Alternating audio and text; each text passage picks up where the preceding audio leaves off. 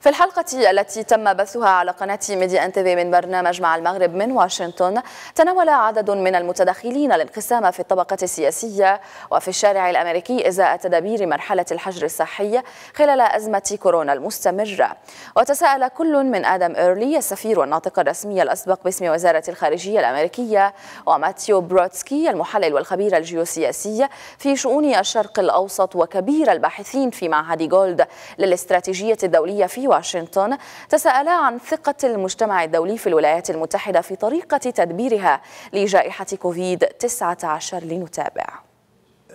الآن يا مات في الثلاثين من يونيو أعلن الاتحاد الأوروبي أنه لن يسمح للأمريكيين بالسفر إلى دوله بسبب فشل الولايات المتحدة في السيطرة على فيروس كورونا فهل ترى أن هذا يعكس عدم ثقة المجتمع الدولي في كيفية إدارة الولايات المتحدة للأزمة؟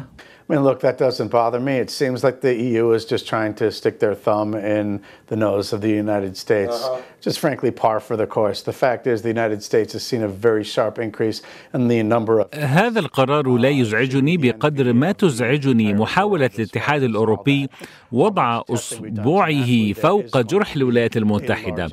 فإجراء الولايات المتحدة عددا قياسيا من اختبارات فيروس الكورونا لمواطنيها حتى بات ذلك مثار غيرة لكثير من دول العالم كشف عدد الإصابات بشكل أدق وهذا ما استغلته وسائل الإعلام في اليسار لتضخيم العدد دون الإشارة إلى تصنيف هذه الأعداد. هل هي جديدة؟ منها إجمالي الإصابة منذ بداية الوباء.